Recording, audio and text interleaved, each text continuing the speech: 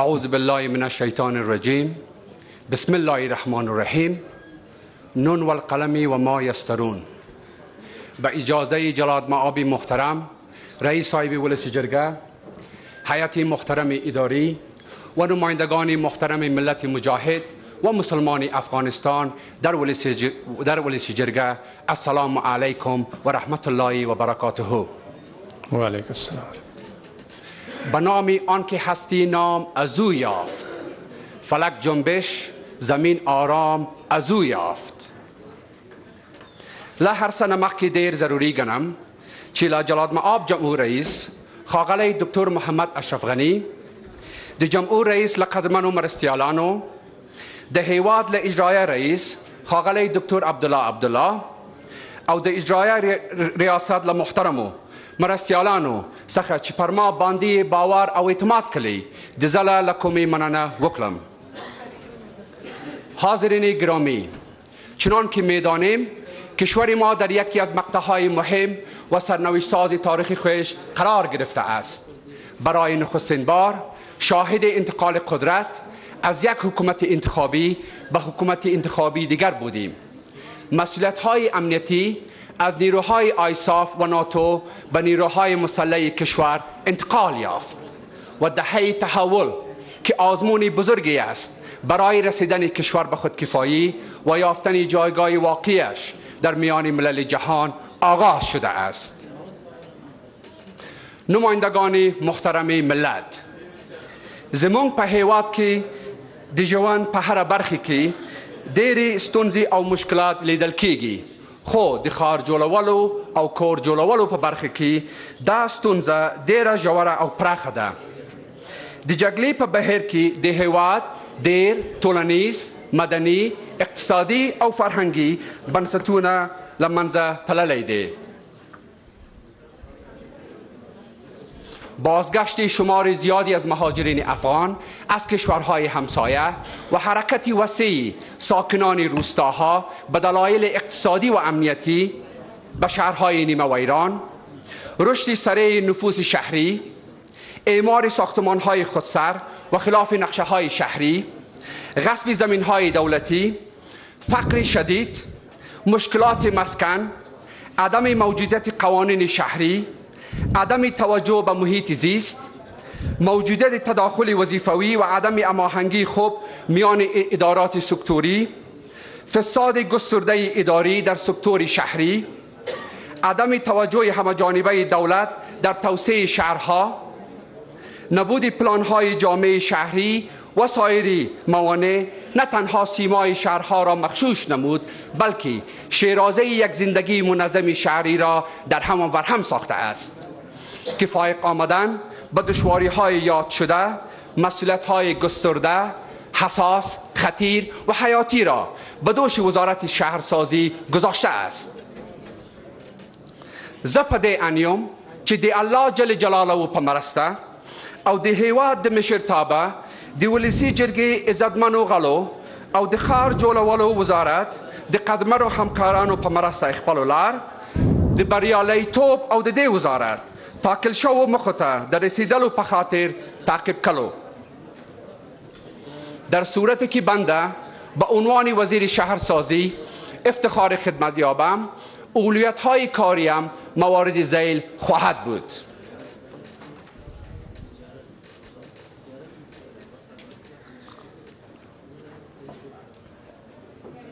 اول پلانگذاری و شهرسازی. اولین برنامه کاریم در این زمینه ایجاد طرح و پلانی. یک نظام شهری قابل قبول و پذیرفتنی خواهد بود که بر اساس آن تمام مناطق کشور از خدمات لازم دسترسی داشته و بر اساس اصول انکشاف پایدار استوار باشند. برای دست یافتن به این هدف سوق دادن فعالیت ها جهتی در دست آوردهای زیل ضروری دانسته می شود توجه به شرایط اقتصادی و اجتماعی مردم در طرح پلانهای انکشافی شهرها رعایت فرهنگ اسلامی انعنات ملی و نرمهای بین المللی در طرح پلانهای شهری. تهیه ماستر پلان برای تمام شهرهای کشور با توجه به مقرره ها و استانداردهای شهرسازی و تهیه پلان های استراتژیک و تفصیلی. نظارت دقیق بر فعالیت های شهرسازی سکتورهای دولتی و خصوصی جهت حصول اطمینان از رعایت معیارهای شهرسازی. نظارت دقیق بر فعالیت های شهرسازی سکتورهای دولتی و خصوصی جهت حصول اطمینان از رعایت معیارهای شهرسازی. جلوگیری از انکشاف خودسر و غیر پلانی شهرها. جذب و استخدام افراد متخصص در امور شهرسازی. حفظ میراث های فرهنگی جلوگیری از شکلگیری ساحات غیر پلانی دوم زیربناهای شهری.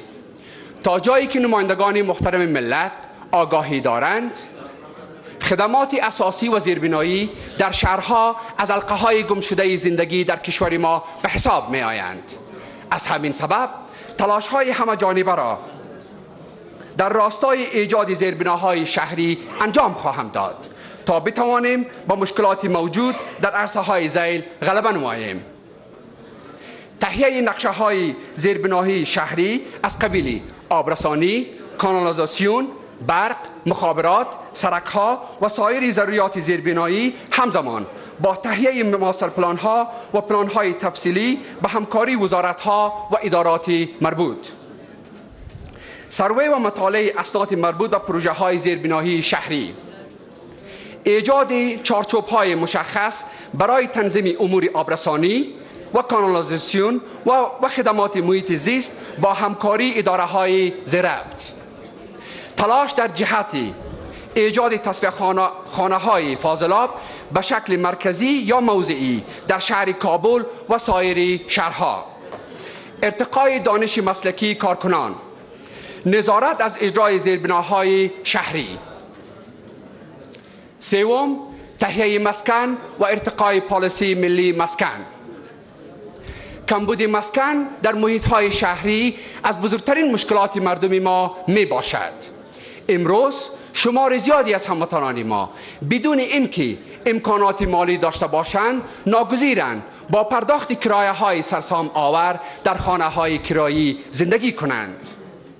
در کنار آن جمع کثیری از آنها با تحمل مصائب و سختی های پرشمار حاضر شده اند در دامانه ها و نقاط صعب العبور و بدون در اختیار داشتن هیچ سهولتی برای خود سرپناه تهیه نموده و زندگی درد آوری را تحمل نمایند. از جانب دیگر اکثر پروژه هایی که برای تهیه مسکن در نظر گرفته شده اند در تناسب با وضعیت اقتصادی اقشار کم درآمد و مستحق جامعه نمی باشند مطابق مطالعاتی انجام شده در حالی که ما در کشور خود سالانه به حدود 100 هزار واحد مسکونی جدید نیاز داریم.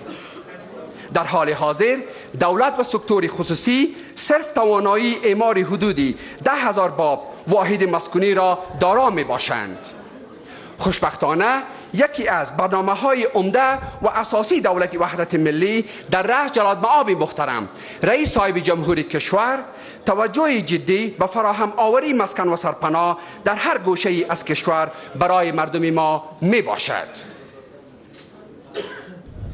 کچیریزه بریالی شوم او د هیواد د ملي شورا دی. درنو استازو رایم می ترلاسه کړه د کور برابرولو په برخه کې بلاندنی تکو ته بنسټیز پاملرنه وکړم. تکمیل پروژه های اعمار مسکن که همین اکنون تحت کار قرار دارد. ترتیب و تنظیم پالیسی های تهیه مسکن. تشویق و ترغیب سرمایه‌داران ملی به اعمار شرک های مسکونی. فراهمسازی پرداخت قرضه های طویل مدت به نیازمندان از طریق بانک های دولتی و خصوصی جهت تهیه مسکن با اقساط طولانی مدت. احیای دوباره بانک رهنی و تعمیراتی. توسعه مسکن سازی در تمام ولایات کشور. انکشاف پروژه های جدید خانه سازی در بخش های دولتی. تنظیم برنامه های مشخص برای توزیع مسکن با اقساط دراز مدت و کارمندان دولت و سرعت بخشیدن به رشدی. شرک های معلمین و مهاجرین مطابق طرز العمل های موجود. فراهم سازی زمینه های بیشتر برای سرمایه گذاران داخلی و خارجی جهت سرمایه گذاری در بخش مسکن.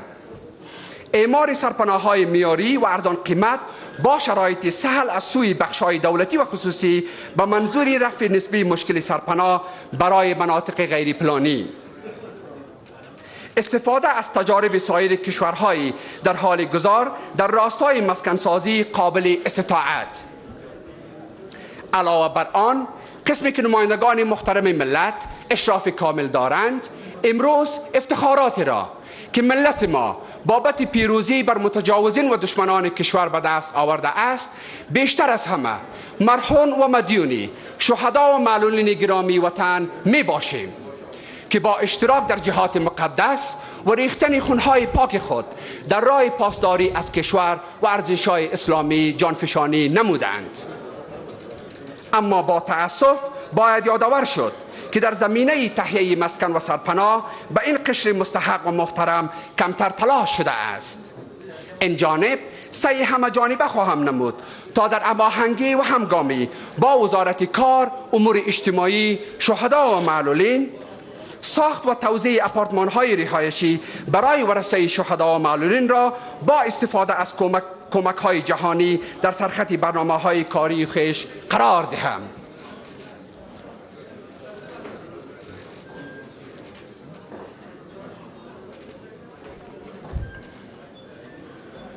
د ملت خاغلو او آغلو استازو. لکه څنګه چې تاسو ښه پوهیږي مونږ د اوسنیو ستونزو د لمنځه وړلو په موخه او د یو منلو ول وضعیت ته د رسیدو لپاره باید له ستونزو د کلاري څخه تیر شو بنده این ادعا را ندارم که رای صد ساله را یک شبه طی نمایم لیکن با توکل به خداوند بزرگ جل جلاله و با توجه به عزم راسخی که دولت وحدت ملی در راه خدمت به مردم در کشور دارد اعتماد و دلگرمی به حمایت همه جانبه شما تعهدی که برای خدمت گذاری به مردم مجاهد و غرور آفرین سرزمین خویش سپرده ام و با بهرهگیری از, از, از انداخته ها و تجاربی که سالهای کار در عرصه های مختلف کسب نموده ام می توانم روی این نکته با جرأت تاکید نمایم که در فرجام مدت خدمت خود در این وزارت فهرستی از کارهای رضایت بخشی را که انجام خواهم داد. خدمت شما و ملت بزرگ افغانستان ارائه خواهم نمود. ناگفته نباید گذاشت که از دیدگاه من رسیدن به مقام وزارت نه به حیث یک امتیاز بلکه به عنوان یک مسئولیت خطیر تلقی می گردد. تقوا خدمت صادقانه و خالصانه برای ملت زجر کشیده افغان شفافیت در اجراعات کاری توجه به شایسته سالاری حفظ روحیه اسلامی و ملی رعایتی سهمی خانم ها در استخدام کادرها و مبارزه. و مبارزه با فساد و سوی استفاده از امکانات دولتی در سرخط اهدافم قرار داشته و از هیچ تلاشی برای رسیدن به این معمول فروگذاشت نخواهم کرد. منی اشام نی آخری نی شنداق تیل قیل تینگرم که من کامیاب بولی و سین خوشحال.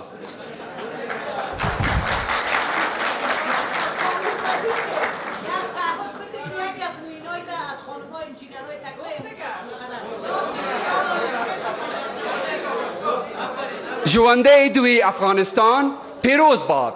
ملت قهرمان و مجاهد افغان و من الله توفیق.